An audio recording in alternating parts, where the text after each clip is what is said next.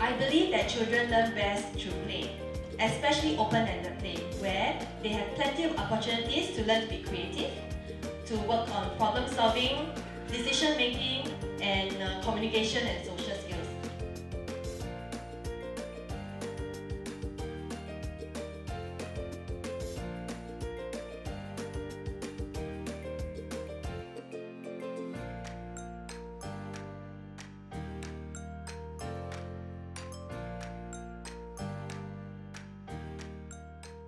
I think that innovation starts from home.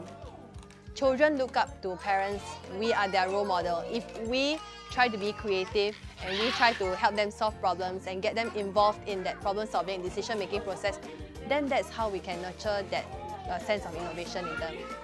So this is a very good reminder uh, to us to go back to our roots, you know, allow them time to actually be creative and also learn a lot more in the process together with them.